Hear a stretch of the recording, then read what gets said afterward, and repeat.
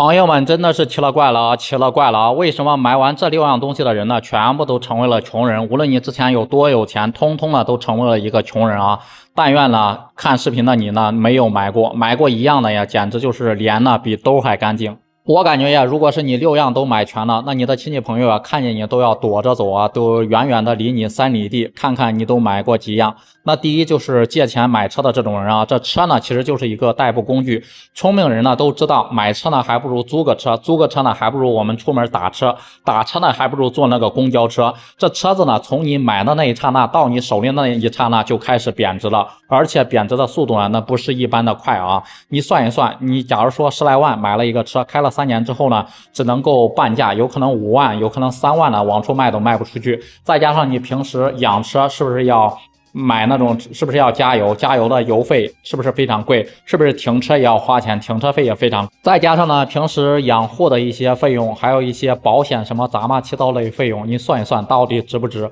如果说呢，借钱买车呢，那是一个大坑啊。那我接下来下一个要说的，那就是一个无底洞，那就是第二啊，贷款买房。房地产呢，现在已经高速发展了二十多年啊，包括在疫情之前，基本上都是快速发展的一个阶段。一套房子呢，基本上掏空了很多家里的啊，就是全部的积蓄，就是三代人的一个积蓄嘛，六口人的一个钱包。结果呢，还了三十年的贷款，你算一算，你这一辈子呢，好像很多人都是为了还债，为了给银行打工而生活的。如果说呢，房子是一百万买的，你还完三十年的贷款，起码呢，你的利息呢也有一百多万，就相当于是自己呢是一百万的房子，整整还了两百万的一个钱，然后剩下一百多万全部都是在给银行打工，每个月辛辛苦苦赚完的工资呢，全部给了银行，全部都是付出了奉献了给了银行，然后结果呢，自己什么都没落上啊。自从自己背上了房贷之后呢，每天就有加不完的。不是啊，做不完的一个兼职，贷款没有还清之前呀，永远别想着给老板掀桌子，永远别想着辞职，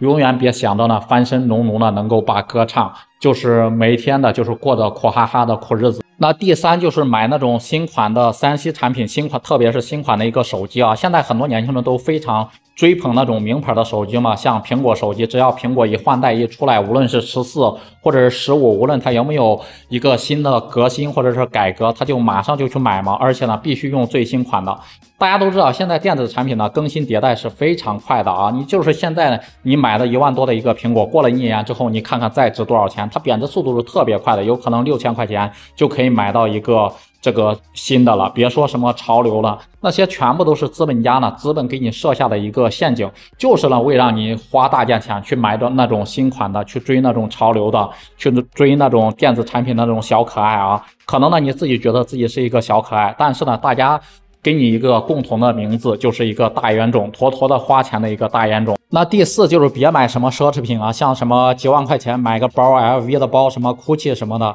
大家一定要记着啊，真正的有钱人呢，他们不会把钱浪费到这些虚无缥缈的一个东西上啊。你就背一个几万块钱的包能怎么的？能把你的身家提高多少吗？穿一身名牌能怎么的？就是能让别人感觉你就是一个富人吗？往往呢，穿一身名牌的人，背名牌包的这些人呢。往往就是呢，他的脸呢比他的兜还干净的一个穷人，就是现在社会所说的一个新型穷人，有可能一个月呢就赚五千块钱的工资，要把自己的信用卡，要把自己的花呗给，然后刷干净，然后彻底的刷干净，负债累累，就为了那个面子啊。大家呢可以看一下那些真正有钱的人，他们根本不会在乎这些的。你像马爸爸，基本上出门就穿一个二十块钱的一个那种棉布鞋，就那种帆布鞋，北京老布鞋。然后你像广东的非常有钱的那种大佬，那种房东呢，动不动几十套房的那种房东，出门都是那一个大裤衩子、大拖鞋。他们呢才是真正有钱的人，而不是被名牌武装到牙齿的那些人啊。那第五就是别买那个什么跑步机啊！我相信很多人已经当了这个冤大头啊。